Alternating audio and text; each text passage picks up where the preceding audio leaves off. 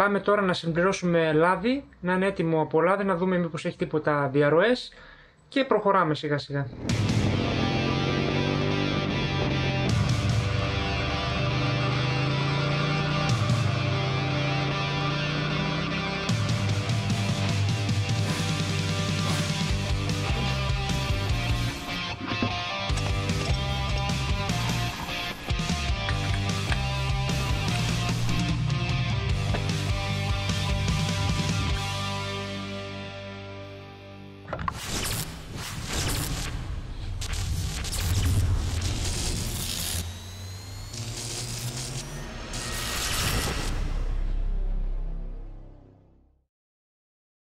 Θα βάλω ένα 1040 Motorex απλό τώρα για αρχή να δουλέψει λίγο με το καλό και βλέπουμε μετά. Να βάλω πρώτα τη τάπα λαδιού.